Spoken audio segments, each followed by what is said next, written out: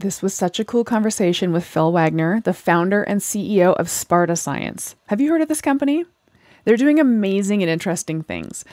The Sparta Movement Health platform can analyze broken biomechanical chains in the human body just by analyzing a foot strike. And then the app designs a workout program based on the feedback from the measurement device. Are you kidding me? How cool is that? If you're a movement, fitness, physiology, kinesiology, or biomechanics geek, you will love this fun and nerdy conversation with Phil Wagner. Hi, I'm Erin Power. And I'm Laura Rupsis. We're certified health coaches, and this is Health Coach Radio. This podcast is about the art, science, and business of health coaching. We share our insider tips to help you become a better coach and entrepreneur. And we interview expert guests to discover how they've made it in this growing field. It's time for health coaches to make an impact. It's time for Health Coach Radio. All right, Phil Wagner, how are you? Fantastic. How are you guys? We're doing great. We were just talking before we hit record how excited we are to learn from you and your hmm. years of knowledge and expertise. Can you fill our audience in a little bit on sort of who you are and how you landed here? Yeah, I, I really, you know, loved playing on a team, loved being a part of sports. Obviously, training and fitness is a big part of that. And so, not being the best athlete, I really kind of gravitated towards the training side quite a bit to you know empower improve myself um, but kept getting injured mm. um, and super frustrating right when you put all this time in and you know the results aren't what you want and those negative results keep happening um, and that really kind of got me interested in the human body and you know how how injuries happen and, and what can be done to avoid or at least limit some of those things. So went to medical school with this idea of hey let's approach musculoskeletal injuries let's approach movement you know from a medical aspect you know like like we approach diabetes or cancer. Um, and let's use software and data and technology to start better understanding why these things happen and so we, you know from there that's where we kind of launched uh, our software and technology to to start working with sports teams initially and then the military and now expanding, you know, to more folks everywhere, not just kind of the the elite top performers. Wow. Why do you think musculoskeletal injuries and and um, issues have, have have up until now not been addressed like the rest of medicine? Yeah, um, I think these these types of injuries, like I think we touched on briefly before we started, is there's an acceptance, right? There's a desensitization of well, if you train hard, you're going to get hurt. You know, mm-hmm. if you know if you play a if you play a certain way, you're going to get hurt. If you're a certain age, you're going to get hurt. Mm-hmm. Right? You know, we we commonly see though all these people breaking that notion, right? I mean, uh, my one of my favorite stories is is that 4 minute mile, right? When nobody nobody had done it and then one person did it and then all of a sudden there's a host of others right after, right? Right and it just kind of breaks our construct and i think a lot of these times these you know we accept that oh it's a contact sport or it's you know you know a certain type of exercises that causes pain causes injury and we accept that. And that's not always the case. Right. Yeah. It's like just because it's normalized doesn't mean it's normal. Yeah absolutely. Absolutely. i mean yeah, I, I mean, I, we we were talking before we pressed record that we're kind of um, more in the fitness end of the realm rather than the maybe competitive sports end of the spectrum.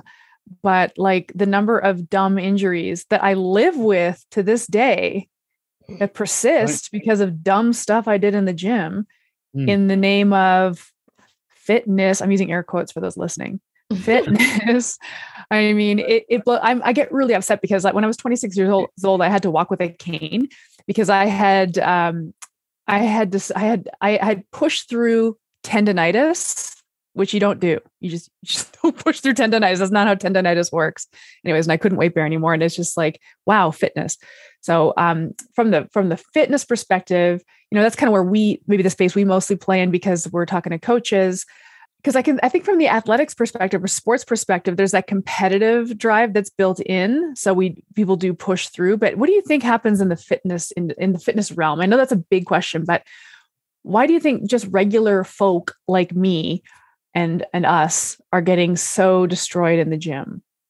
Yeah, we we almost expect or demand that you know, in order to have those gains, there has to be some sort of price that we've got to pay you know to to get those gains. And that in a way if we can't con- concretely feel that price mm-hmm. we may not be thinking we're making those improvements. And and i think it's a lot of this is reshaping our our perspective that what we're trying to do is is move better right mm-hmm. and um that's really the end goal you know because if we think about getting larger muscles or stronger joints, a lot of times that can be associated with more soreness and pain. Mm-hmm. Uh, but if we're focused on moving better, you know, sometimes that soreness will be a byproduct and that's okay. But if we try to look at this structural muscle bone as the end goal, you know, sometimes it's too coupled to that pain or soreness. Right. Yeah. Yeah, I think I think you're right. I think just the the sort of the point to make there is that like a lot of healthy behavior change, it doesn't have immediate, obvious outcomes. And it's not sexy if it doesn't suck. right, right, right. Yeah, absolutely. And I think, you know, there's a lot of parallels there to body weight, right? It doesn't, you know, if you're looking to lose weight, it doesn't happen right away. Right. And it's and it's much more of a linear process, but I think we always want that that quick validation, right? Mm-hmm. That immediate validation. Yep. And that's what that soreness provides some sort of validation yes. that you did well. You know, it's that's so funny. Right. So, um, I'm going to poke fun at CrossFit a little bit because I love it. And I, I, coach CrossFit and I owned a CrossFit gym for another number of years. But because I was inside it and I owned it, I feel that it's okay for me to poke fun at it and kind of. Are you going to name? Are you going to name drop, name drop Uncle Rhabdo right now? No, just not. Well, that's a whole other issue. Holy cow! But um, I'm just in general the mindset around CrossFit. I was talking to a fellow coach the other day who was saying, um, you know, when they onboard clients, that they send a message that if they're if they can't make it there four to five days a week, why bother? Okay, that you're not going to get the results you need if you're only there for three days a week. And I'm like, perhaps if they're still eating fried chicken and mainlining beer with an IV and you yeah. know Right. I, I, think three days a week with with other proper movement, right? Attending CrossFit three days a week, but then walking more, um, uh, hiking, playing with your kids, all of that stuff. As long as you're moving every day, but I don't think you need that super high intensity. I mean, I literally i'm coaching classes and people are limping as they're walking in because they're so sore from the workout they did yesterday. Yeah, and I think that's another normalization that's that's occurred, right? Is you get locked into this 4-day, 5-day, you know, 1 hour, whatever constructs in your head of how much time is required, you know, mm-hmm. for fitness. And one of the exciting things that's coming out in research and researchers actually name this sprint snacks. Oh. You know, which for a researcher to call it sprint snacks like yeah. You know that's that's a pretty good marketing term but it what the idea is is that you know you can do bouts of four minutes 30 second snacks if you will throughout the day yep. and it's as if not more effective you know than an hour long workout right mm-hmm. because what really matters most is the frequency not the duration right and i think that can really open up a lot of opportunities for people to get healthier or fitter when you start reducing the barrier to entry. Yeah. Because we think, hey, I've got to come in to your point four or five days a week, you know, for a half hour, hour, and I got to drive there. You know, that that really starts to challenge, you know, your life as opposed to, hey, if I just do 30 seconds as hard as I can, you know, three times a day, like that is, yeah, you know, that that's game changing for a lot of people's schedules. Oh man my brain cannot comprehend that no matter how many times I hear right. it. Right. we need some influencer. I can't believe I just said that, but we need like an influencer with big muscles, oiled yeah. up muscles who says, Hey, I work out uh, six times a day for 30 seconds. And this is, you know, I just, for some reason, even though I hear it and hear it, it's like, no, it's going to have to be 45 minutes of weight training. Uh, That's how it well, works. It's, it's, the same. I think in my mind, it's the same way as soreness, right? There's got to be some sort of price. And so people say, okay, I've got to be sore and I've got to give up a big chunk of my life in order to get fit. right? And both of mm-hmm. those are, you know, concrete sacrifices, but they're both not true. Yeah, Right. I love that. You know, Yeah, well, this this like we had a conversation with John Jaquish. Remember, Doctor? He he developed the X3 bar where he's talking about he works out. What does he say? Like four days a week for ten minutes. You know, he's working. It's it's one set at high intensity of a set of movements, and he's he's talk about jacked. Right. I mean, this guy's got muscle, and this is what he's talking about. He's not doing the micro workouts thing, but it's a similar concept. And and I guess you know I'm I try to in the classes that that I'm teaching because it's no longer my gym anymore. But when I when I'm trying to impress to the people that are attending these classes is having a conversation about what they're looking. What do you need to get out of this workout today? Mm. And th- just just because you you know they use a, a concept called level method, which I love, which helps people identify from the standpoint of preparedness and physical fitness and conditioning. You know, how can I structure this workout to fit where I am? And I love that.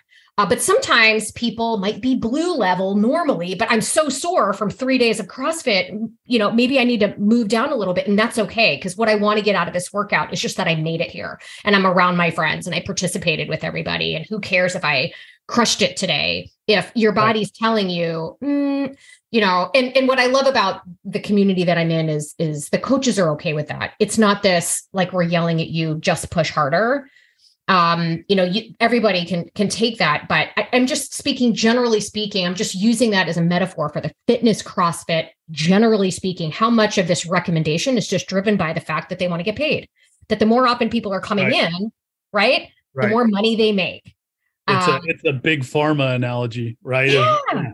totally. Yeah. I mean, it, it's it's it's supporting. There's always a a financial kind of bent behind a lot of these recommendations, right? I mean, when creatine first came out, it was like, well, you got to do a loading, right, mm-hmm. over seven days, right? And then they realized after a few years, well, actually, the loading makes you go through the can of creatine faster, which then you got to buy another can, right? But you don't really need to do the loading phase, right? So it's, you know, I think there's a lot of that within the fitness industry, you know, and yeah, I think it's a lot of these injuries and pains come up from from overdoing things you know have a desire to get better but the reality is you, you don't really need to do as much volume as you think right Right. I think the um the the moving better arm of fitness, like these movement specialists. I, I see a guy who's a movement specialist, and um, like we touched on earlier, it's just it's just not as sexy. The things he has me do are like Right. balancing balancing on a squishy piece of foam, and it's like, what is this going to do? Never mind, it completely cured my stupid h- glute amnesia. But anyway, right I- it must be maddening in some ways to be in that branch of fitness. And I'm wondering, so you mentioned like you developed the software and originally it was for sort of uh, team, like teams, like high performing teams and then the military. And now it's kind of being rolled out uh, from what I understand, if I interpreted correctly, more to Gen Pop. correct But like, who are you finding from the general population? So like maybe the people who health coaches and fitness coaches would work with. Who are these people? Like, what is bringing them to you? Are they excited about improving their movement, or is it a? Do you get the sense that it's like, well, I guess I have to do this? Like, I'm just kind of want to get a sense, like a pulse check on this part of the industry. yeah i think the biggest opportunity where technology can be helpful is to identify what you don't need to do and so it's really in line with what our conversation is in that you know how do we reduce i think people want to get fitter get stronger but they want to do it in a faster trajectory right?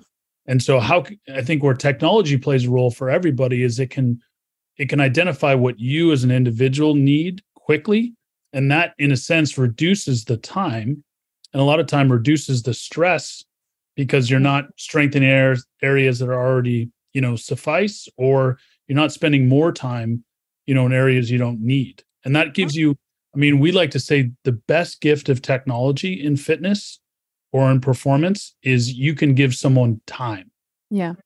time to Okay. time to go on walks Yeah. time to spend with your family time to eat better right time to sleep more right all these other aspects that's that's ultimately what shorter workouts or technology should do Okay, cool. So if I'm if I'm hearing this correctly, then it's sort of like this technology, and I think we should get into at some point how it works. Um, but it sounds to me like it maybe reduces the time spent, for lack of a better term, hunting and pecking to try to figure out where maybe the imbalances or the biomechanical breakdowns are. It helps you kind of zero in a little bit. absolutely yeah because i think a lot of times in fitness right and performance we read something, we see something, and that's the answer. Right. Yes. You know, like my sciatica.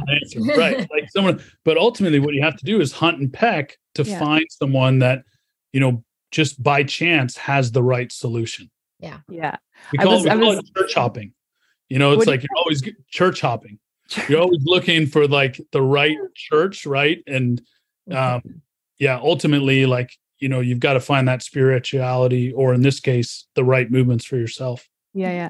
And I just to like I shouted about sciatica because and just to close the loop on my glute amnesia story, if anybody cares, I thought it was sciatica.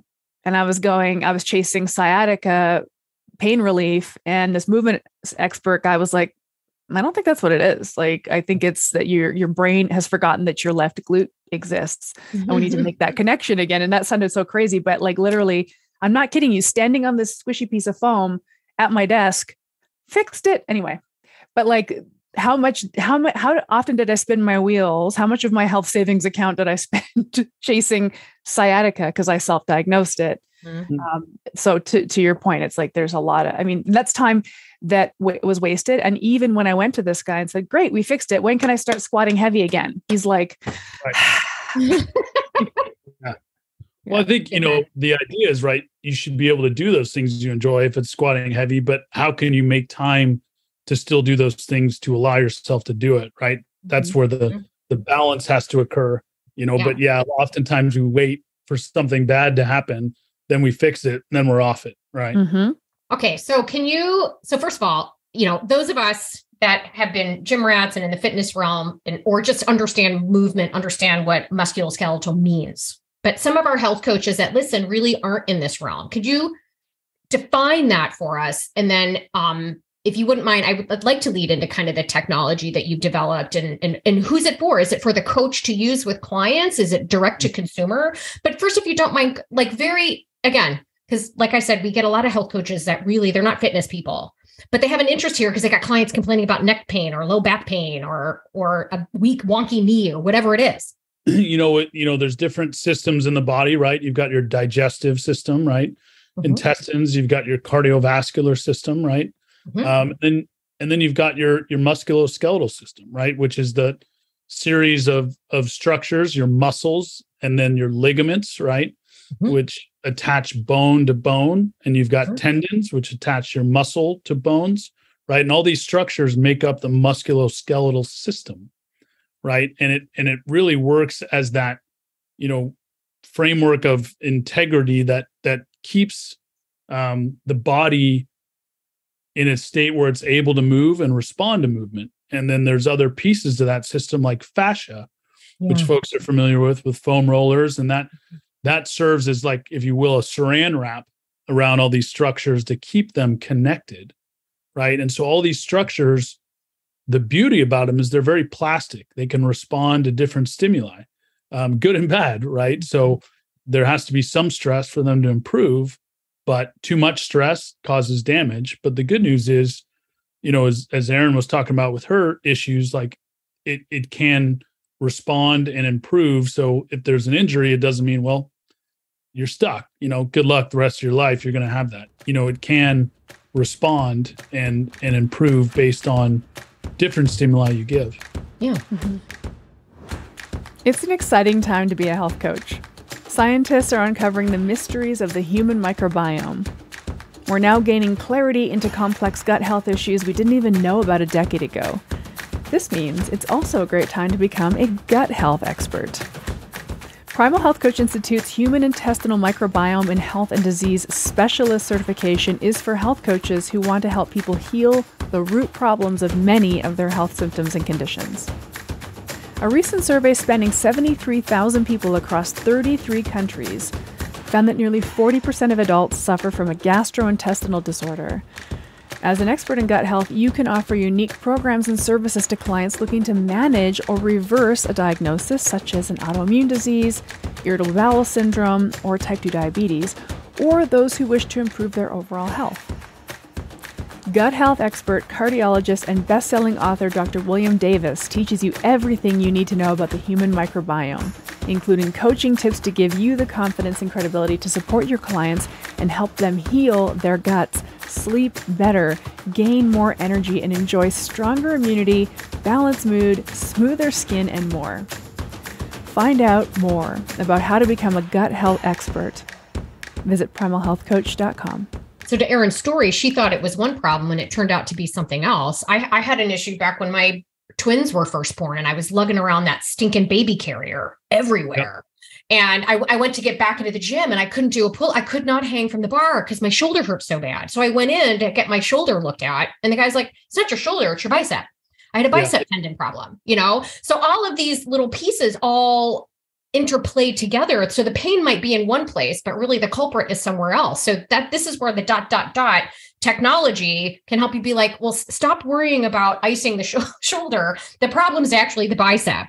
Um, and yeah. this is where we can focus in it. So, would you mind kind of taking us through what prompted you in terms of building out this technology, how you built it, and and how the everyday Joe can access it and use it, and what it does? Yeah. So I think you know, in when I was going through medical school, I heard a great term which kind of relates to what you guys are talking about. Where it hurts, it ain't. Exactly. you know, and so really the body is a system, right? Mm-hmm. And so often where we feel something mm-hmm. is not necessarily the cause or where we may be hurting, you know, to do a movement or underperforming. There may be something further down or further up the chain that's causing that dysfunction or causing that pain. Right. So this idea we we were thinking about is like, okay, what's what's the common thread behind a lot of these movements um, and pain and dysfunction? What we what we came to was it's the ground. Hmm. How you interact with the ground dictates a whole host of other issues.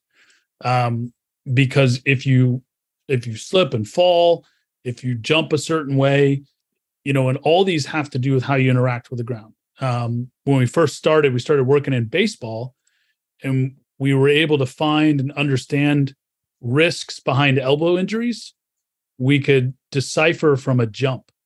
Wow. And that was like just like mind blowing to us and validating of like, oh, I guess that makes sense because if you don't throw a baseball with your legs, you have to rely on the smaller muscles of your upper body, which therefore stress your elbow.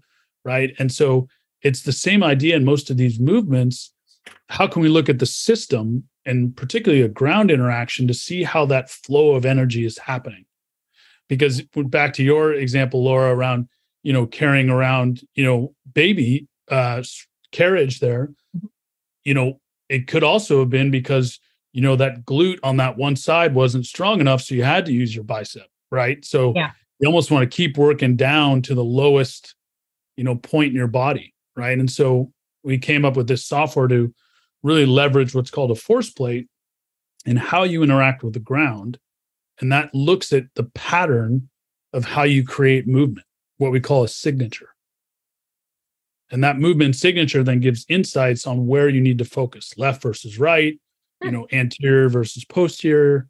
Um, and that flow of energy can start creating a whole host of, I guess, priorities of what individuals need.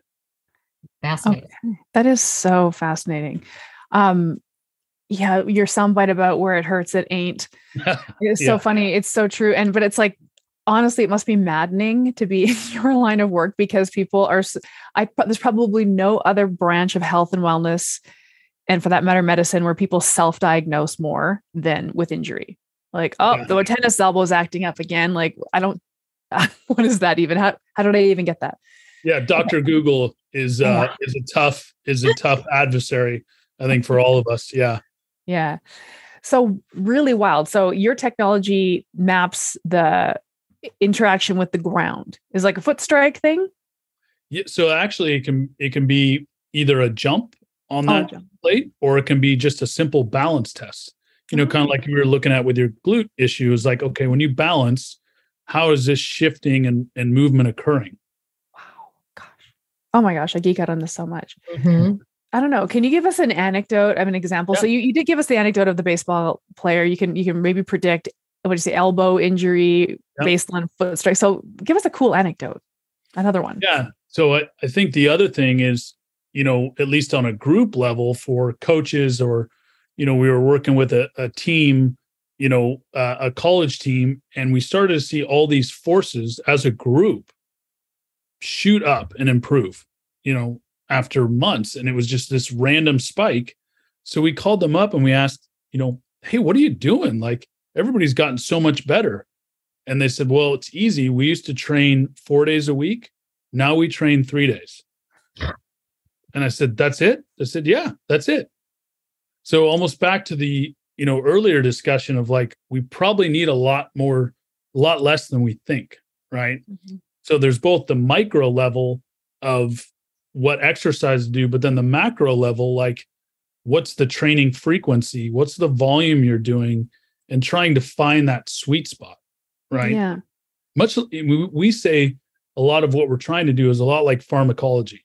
Right. I was just thinking, mm-hmm. yeah. Yeah. What's the dose, right? What's no, the right dose? Yeah. What's the frequency?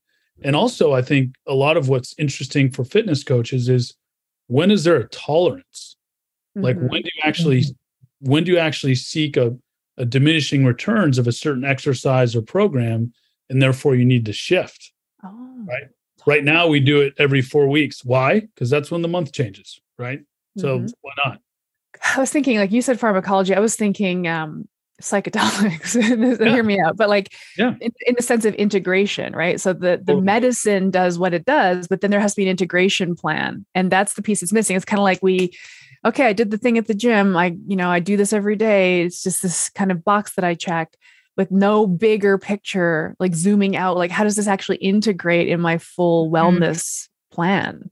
Right, where rest becomes well rest we know is where we get stronger like we everybody kind of knows that on some level but nobody rests it's just because you can't usually measure it right that's yeah. usually the hard part if you can show hey like in that in that case of the team i mentioned if you can if you can show hey with rest you got better right that might start to curb that itch right to do yeah. more you mentioned tolerance and i i don't know i'll make sure i interpreted this right because as soon as you said that i felt triggered because i felt like during the height of my exercise addiction, which for sure I was, it had to suck more. Yeah. Mm-hmm. Like if it didn't suck, like it, I just got to the point where, and it even still plagues me to this day. If I go and do an intense workout, I have to go in there saying, I'm very tolerant to sucky exercise. I can push myself beyond my limit without even noticing it because I've built up this tolerance over the years of just being dumb in the gym. Is that what you meant? Yeah, I, I think I meant more, oh. you know, just like when you take medications, right? There's certain medications that after a while you have to change the dosage or switch the medication mm-hmm. because you're no longer responding to it. Got you. Right. So it's, you know, I think exercise is medicine, right? Mm-hmm. And so at what point do you need to change that medicine if it's not having the desired effect? Right. Yeah. So, you know, I, I was about to sort of chime in when we talk about, well, we kind of all know that really we get stronger in the recovery period and the rest. But I, th- I think trainers probably know that. But I don't, the, the number of just end clients don't know that. Right. They don't the number of the number of clients that used to come into my old gym that would be like, I don't get it. I'm plateauing. I'm not getting stronger. It's really frustrating. And I'm like, well, go, you need to go home and take three days off. you have been here every day. You know, that the, this is what I was trying to drive home that the the benefit of exercise comes in how the body responds afterwards. And if you're not giving the body enough time afterwards, that is, I guess, adequate for the dose you just gave it, right? Yeah, totally. So the harder you go, the longer the rest you need. That's the way that works, you know? And it, he at first was really reluctant until he's like, all right, fine, I'm going to try it. And then he did. He came back. He took th- three full days off. He didn't come in on Friday, Saturday, or Sunday, came back Monday, and he crushed it. And he felt amazing. So we restructured his plan and he would still come in because he liked the community. But there were days he wasn't doing the normal workout. He was doing something else. He was just sort of like a low, easy ride on the bike, or he was mobility or whatever. Um, so I think the end consumer really doesn't get it. And, and if this tool and if this technology can help people understand that, boy, what a phenomenal outcome. So I would love for you to walk us through kind of how you you like what is the tool, what's the technology, and how might coaches so again is this something that a coach would utilize for clients or is it something a coach would refer a client to that they either purchase themselves or go to a facility or how does that work yeah no we, we have coaches use it um, use it, and and it's a it's really a way to, you know, it's got you know two kind of you know benefits was as coaches use it when they when they're able to assess clients, and the assessment takes about two minutes total. Mm-hmm. You know, so that was key. We wanted to make it as short as weighing in. you Yeah. know, just you get your weight, and that's a big thing we want to change. Is we want to shift the metric from body weight, you know, to function and movement hmm because there's plenty of overweight people that live long lives and there's plenty of skinny people that die early. hmm So we got to shift form to function. Um, and so that quick assessment, you know, allows, you know, the coach to work with the client of here's where you're at. We're doing this because of what we see from the assessment. And Okay. the, hopefully the helpful part is like, then if the client does something, they're able to quickly see how they changed. And that helps with compliance, right? Because that's what we're all as coaches fighting, right? Is compliance. How do how do we improve compliance um and, you know for that long-term duration? That's So cool. how does it work? So uh, you've got a coach that's working with a client. Mhm. Um, what's step one? How does this? How does the technology work? So client will step onto this force plate and do a jump and or a balance. You know, that takes, you know, a couple minutes total. You know, from that assessment immediately, you know, they're shown their results. You know, we we provide them kind of percentiles based on age and sex at birth and say, okay, you know, 50 is average, here's where you're at. You know, based on, you know, your scores, you know, these are some of the exercises that are best for you. Oh, and we call it a mm. movement panel like a blood panel. So it's all these metrics right? Like instead of sodium potassium cholesterol it's you know you know sway velocity which is how much you move on your balance or rate of force development how quickly you can develop you know force or tension. So all these pieces in a movement panel just like a blood panel allow the coach to pick and choose what the priority of the next exercise session or Hmm. plan is. That's awesome. So is do you have guidance on whether a coach should be a, s- is it, so whether a coach decides to use a jump or a balance is that determined by what the goal of the client is? Do they run both? Yeah, does- it's it's it's it's generally yeah determined by the coach and the level of the person. So we like to say internally we work from SEALs to seniors. You know, in terms of you know, a lot of seniors aren't doing jumps. You know, um, so it might just be a balance for them. But folks that are younger and more active might do a jump and a balance. oh my gosh, I'm thinking about it about for my senior dad. So he's Yes. he cannot balance. He's falling down all the time.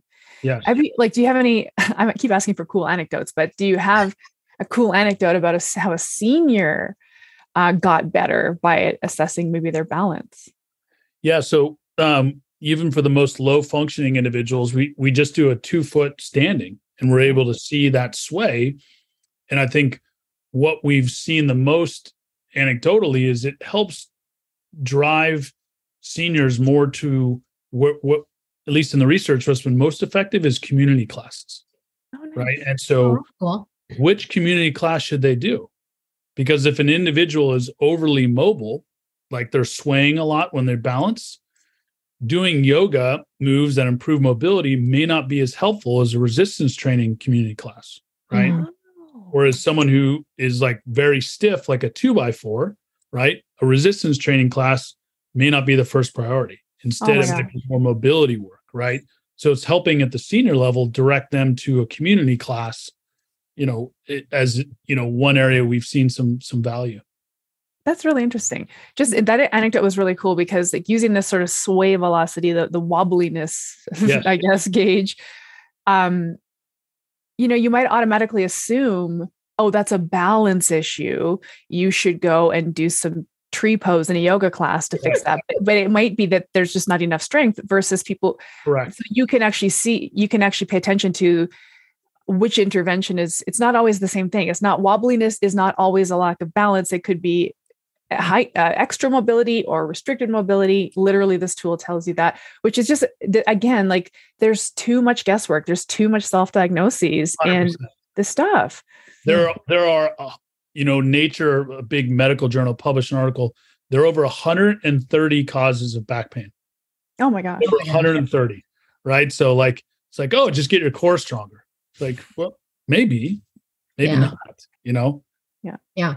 Here's my question. So if, let's say you've got a, a health coach who um, has recognized he or she wants to bring, you know, movement is a part of what they coach around, but they're not really fitness people. The how much existing or background knowledge does a coach need to have to use this tool effectively, or do you provide training? Like just how, I guess, diagnostic or prescriptive is the output of the testing or the assessment? Yeah, it's it's very layered. You know, at a high level, we've got, you know, end users using it without any physiology, exercise mm-hmm. science background. You know, so it mm-hmm. can it can function, you know, for at a high level of like, okay, do this, right? Got it. I'll do that. And then at the, you know, but it's got enough layers where, you know, folks even use it in a research setting to get really in the weeds and gather some finite variables and study them against other things. So there's different layers depending on the type of user and the desire. You know, like we have athletes using it as consumers, you know, and they're like, I don't care what it means, just tell me what to do, you know. Mhm. And, and then on the other end, you know, these these academic labs, you know, want to know like how to measure multi-scale, multivariate entropy, which mo most of us, myself included, can't even spell right? so these are variables they want to look at that are more machine learning driven. So there's all these kind of variables in, or layers in between for different folks to interact with it. Very cool. Oh. And so when you're describing how um, it's used, so the, the client gets on, just does a quick check, whether it's a jump or, or a balance, it spits out. Um, I'm hoping I got this right, but it spits out kind of like here's where some maybe imbalances are, and here's the exercises that are recommended to handle that. And then did you say that you might go, they might go back and check after having done the 100%, exercises? Yeah. right? Because I think what you want to see is like how those exercises are changing. Um, Mhm. You know, in the same way that, you know, a lot of times some of the value of nutritional interventions is getting blood tests to see, okay, did these values actually change? Right. And and where do they change and how much? Because, you know, I think a lot of times we assume that certain medicines, certain foods, certain exercises are going to have an impact, but they're not going to have the same impact for every person. hmm Yeah. So so there's a plate that people stand on, balance on, jump on, what have you. That um, there an assessment is done, and I, I'm assuming there's some sort of is it a software? Is it an app? Is it what yeah, is? yeah. So there's a there is an app, um, but and there's also a software kind of platform that has the reporting. You know, one of the things we've done is is from that report, it might say, "Hey, you're you're you're weak anteriorly," meaning you might um, you might not be able to gener- generate force in an Forward. anterior direction forward very well, right? Um, we try to stay away from saying it's a certain muscle Okay. because we really actually may not know. Yeah. Um, and so instead, what we've been able to link is certain movements that do improve those variables. Um, a lot of times, anterior, it is quads, and a lot of Mhm. times, but we, what we do know is that it is squatting. Um, but I think we all know squatting isn't just quads; it just happens to be a big part of that, right? Mhm. So that we try to link it to an actual movement than a muscle, but it is it does get to that level with saying, okay, you just did your jump. It shows you're weak anteriorly. And so these are some of the exercises like a squat we would recommend. That's awesome. And then if you're hurt or maybe you're um, functioning at a lower level, maybe you're older, it might just be like a wall sit, right? Yeah. Where you're working on those same kind of areas, but in a lesser intensity. how would you uh, combine this with so, so somebody, somebody does have an injury or some kind of they, they can't move because the pain is too intense or whatever the case may be like can you does it help with injury pinpointing injury does it assist Yeah. with that kind of as well Yeah. And I think mostly trying to identify what's causing that pain, what's causing that injury, right? Because, you know, both of you guys talk about your experiences, right? Where it hurts, and ain't, right? Mhm. And so, how do we, through the rehab and injury process, also identify what may be the underlying cause? yeah okay i have a question for you it's very specific Yeah. but again it's okay and i'm going back to this example where i went in with this butt pain that wasn't sciatica even though everybody thinks their butt pain is sciatica but the sciatic nerve could be caught up anyway anyway whatever Right. so for two years i couldn't i could not a weight bear i couldn't weight bear I couldn't use that glute for two years. Like I had a lot wow. of atrophy, a lot of strength loss. I couldn't squat. I couldn't, I certainly couldn't split squat. I couldn't do a lunge on that leg for sure. Sometimes I have to do a lunge because I teach group fitness and I have to do it. And I would just wince and just like cry through it. It was so painful, so painful. I can't even describe the pain of weight bearing on that leg. Then I went for this movement assessment. He reconnected my brain to my glute, whatever. Okay. So mm-hmm. we all talked about that already. By the end of that session, 20 minutes later, I was lunging with no pain. And I said, But wait, I'm injured. and he said, No, you're not. I said, Yeah, but it hurts. It even hurts when I'm sleeping at night. It throbs. He's like, Yeah, I don't think there's an injury there. Your brain kind of invented that pain to protect some this whatever this imbalance in your in your musculoskeletal system or whatever. Is that is that crazy? Did I? no, no, I think it. I think it's a good question because we're expanding on what Laura asked earlier of what the musculoskeletal system is. You know, a better word, right, is neuromuscular. Neuromuscular, mm. yes. Because your muscles and bones didn't change in that 20 minutes, no. right? But your nerves and your connected nervous system, which drives, right, drives that musculoskeletal system, that can change rapidly. Yeah. Right. We like to say, like, if the hardware is the muscles and the bones, the software is that neuro system, right? Yeah. The, that's driving that. And just like a software update, that can happen quickly. It's right? wild. Yeah, that's I think that's the value of of movement, looking at movement rather than, you yeah. know, necessarily you know, structures. Yeah. So his his philo- his thinking was, if I interpreted him correctly, was that something to the effect of like there really aren't pain receptors there that per se that or there's just there's not in, injured tissue there but because i had been convincing myself that i was injured it was giving a pain reaction because it knew that i like it just feels completely kooky to imagine that that thing was not an injury it was an invented injury by my brain to protect that part of my body is that right yeah i mean the pain is is is probably one of the more complex yeah. things in the human experience, right? Because it's not just physical, right? There's a lot of uh and the, and you know if we we all know what I think a placebo is, right? Mm-hmm. You know, mm-hmm. you believe something and and it's true and it's super powerful in in medicine and and in health, right? And so if you believe something, it truly can override you know how you experience and the intensity with which you experience it in mm-hmm. yeah so, I mean, just thinking in terms of everyday health coaches who work with everyday, you know, Johns and Janes that are walking around with like stiff neck pain, shoulder issues, and th- a lot of this coming from more of a sedentary lifestyle. So I could see like how how is standing on a plate is can it address these kind of concerns of just the everyday person who's not an athlete who's not an active exerciser but just is in pain in many cases due to inactivity or a lot of it's probably posture you know how they hold themselves how much time they spend sitting that kind of stuff is it applicable under those circumstances or is this mostly for active people no it's definitely applicable there i think you know the the mm-hmm. term in research and medicine for balance testing is posturography. So it's okay. is really the study of your posture, right? That's that's what balance is looking at. And folks may have neck pain because you know there's a shoulder imbalance or a sh- lack of scapular stability, mm-hmm. right? Or it could be a you know excessive lumbar, right, lower back mobility, right? Mm-hmm. Or it even could be caused from your hips. But there's a lot of research that supports that you know neck pain is linked to how you stand and how your posture is in that standing position right and it really just strengthens this whole concept we're talking about is the body's a system yeah not this isolated parts right throughout right if we look at it as isolated parts we're gonna we're all gonna be chasing our tails to fix the pain but it, we're never gonna find that solution at least not for a mm-hmm. long lasting period do you think a personal trainer could become qualified to assess at this level?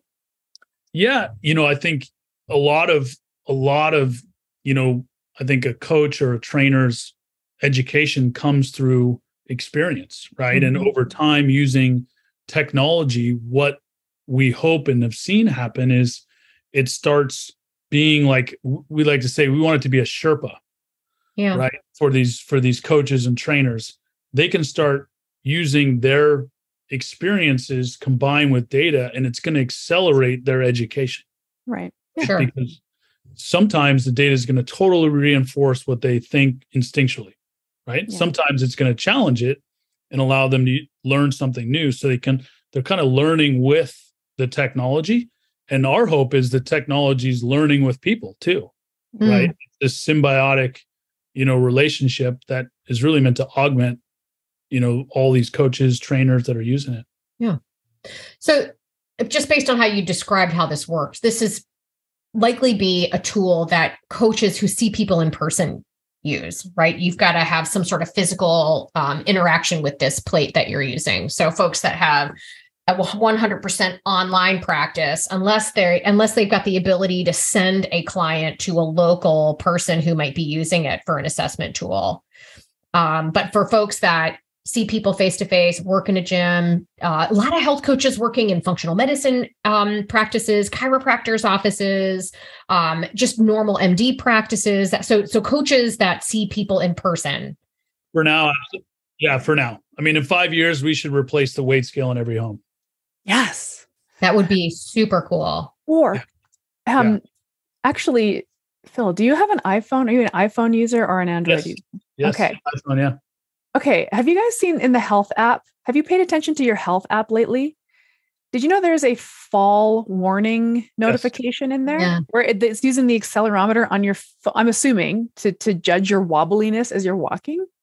Yeah, we're bringing in that data into the software right now and, Oh, and integrating. Yeah, because there's, it's a great way to you know start gathering uh, what we call exposures, right? Like, and walking's an exposure of stimulus, right? Like, how are you walking? How is that stability working, right? Because then you start pairing up all these cause and effects, like ten thousand steps, right? People Mhm. know that. Not one scientific paper supports it and it's just because the Japanese came up with the first pedometer in the 1950s, and the translation to English is 10,000 steps. Oh yeah, pedometer. It is. You're right. You know, so it has nothing to do with like that as a threshold. Um, and so I think, you know, through areas like the Apple Watch or, or Apple phone, like how can we really start identifying what those thresholds are? You know, because sometimes we do danger in that if someone does 10,000 steps, they get worse, they have more pain. They're like, well, screw that walking thing. I'm not doing that. you know, like, yeah, Yeah, ten thousand steps with um some kind of biomechanical imbalance is ten thousand reps up, ten thousand bad Exactly. reps. exactly. Right. Mm. Exactly. Oh my And god! so it might be 4,500. We don't hmm. know. Yep. Wow. That's Very so cool. funny. What a funny like backstory about how we I mean, I, I always thought it was a pretty arbitrary number, but really the spirit behind it was just get out and move more. If, Yes. if, if you need a target and if you need a goal, 10,000 is as good as you know anything else. What we don't want is people beating themselves up because they hit 9,500 and oh And my some- god, I missed my 10,000. That's right. and sometimes i mean that's the dark side of tech right is that mm-hmm. You know there can be an obsession over oh man i got seven hours of sleep i'm supposed to get eight right and then you can't sleep because you're like i gotta force myself to get eight hours you know, so, you know it- it- that can be the challenge with with technology is that's why it'll never replace practitioners Exactly. Coaches, Yeah. never That's something we should speak to. Yeah. We Yeah. always talk about that. It's like um the quantified self is fine to a point, but then it's like there's there has to be action attached to that data somehow. You have to be able to take that data and make it actionable or or per- pertinent to your life. Um, you know, your your example of the sleep tracker is a good example. I thank goodness I lost my Oura ring at the gym because I always lose my Oura ring at the gym because you can't lift weights with an Oura ring on. But anyway, it, my life has gotten better because I was not stressing about, oh, my readiness is so low today. I guess I should take it mm-hmm. easy. I, according to my ring, like I think data is only good to a point. I think that's what you're getting at. And then we have to bring in practitioners to make that actionable. yeah because and we can't look at the data as law right Right. it's it's not it, you know data much like the human body it's always evolving and there's no right or wrong it's it, there's only better you know and so you know over time the data is going to get more insightful from wearables and technology you know but we just can't hold that to such a high stringent standard, you know, right. like the 10,000 steps, you know, or the eight hours of sleep. Well, the, this has been the problem, I think, of the um, sort of evidence based medicine crowd, which look, we all need evidence, but there's different types of evidence. And just because something wasn't a double blind, placebo controlled trial doesn't mean that practitioner evidence of actual doctors or practitioners or chiropractors or trainers are saying, no, this is what I'm seeing in real time with actual humans there's got to be something here because if the data is not supporting it, then there's a conflict between what's happening in real life and data. Something there's a, a disconnect. And, and when we were first kind of connected for this podcast, that was something you felt very strongly about. I, I think if we if we continue to wait for complete and utter validation, it's never gonna it's never gonna happen. Mm-hmm. Right. And so that's where the blend of data and technology with instinct, you know, and awareness. Hopefully, what data and technology does is it creates awareness, right? Yes. That's that's right. the value. It shouldn't create hard rules for our lives. Right. Right. It creates awareness and guiding. That's why I use that analogy of being a Sherpa, right? The mm-hmm. technology mm-hmm. should be a Sherpa. You you still got to climb the mountain. It's just making you aware of where to step or not, you know. Mm-hmm. Uh, yeah. And so I think sometimes, yeah, the, the medical world approaches things too rigidly as as does the consumer. Like you know mm-hmm. oh i asked my doctor he told me this so that's what i'm going to do. Yeah yeah. Okay. oh my gosh this is so interesting. I honestly could ask you a million more questions about dumb biomechanical imbalances but we won't because i think this has been really uh just a, a really compelling conversation around where movement practice fitness, which is a, a, big part of you know our audience is probably half fitness, mm-hmm. yeah, fitness uh, junkies, fat fitness trainers, and um, I love anytime because I've been in the fitness industry since the '90s, and it it's it's so so so so due for a renaissance, and it's just like the slowest barge ever to like change. So things like this are pretty exciting, and I do hope our listeners get excited about collecting this kind of data, empowering their clients to understand how their body moves and works, how it yeah. connects with their brain. I think it's a really, it's really fun, really fun stuff. Yeah, I think anything that allows the end user to move with intention and purpose mm-hmm. um, is a good thing. I mean, because Erin and I both see people at the gym all the time that are on the stinking treadmill every single day for God knows how long with a goal in mind that they clearly haven't met because they're still running and they look exactly the same. Right. right. So what what's the intention? And if a tool like this can help you determine what's going to be I guess the minimum effective dose with the right movements that'll get me where I want to go in a shorter period of time. I don't care how much it costs. It's worth it rather than considering, you know, just wasting time. Because that's the most valuable resource, right? That's hard to put a price right. on. It's time, right? Exactly. That's what yeah. all of us need more of, right? More more so, time. Exactly. So how do people find out more about the technology and how to get access to it? Where can they where can they Yeah, look? we've got we've got a website, spartascience.com. Um, and so yeah, then you know that's where we've got kind of a lot of the case studies we kind of chatted about or, or anecdotes, but then also kind of for those looking for a deeper dive, kind of the education and it's got a blog to, a lot of times talking about movement and how it relates to people and organizations. Amazing. I love That's it. Great. Awesome. Thank you so much. This thank was so much fun. We could yeah. keep, yeah, I know, but we're trying to be respectful. So thank you again. This was great. This was, yeah, fantastic. Thanks for having me on. This podcast was brought to you by Primal Health Coach Institute. To learn more about how to become a successful health coach, get in touch with us by visiting primalhealthcoach.com forward slash call. Or if you're already a successful health coach, practitioner, influencer, or thought leader with a thriving business and an interesting story, we'd love to hear from you. Connect with us at hello at primalhealthcoach.com and let us know why we need to interview you for Health Coach Radio. Thanks for listening.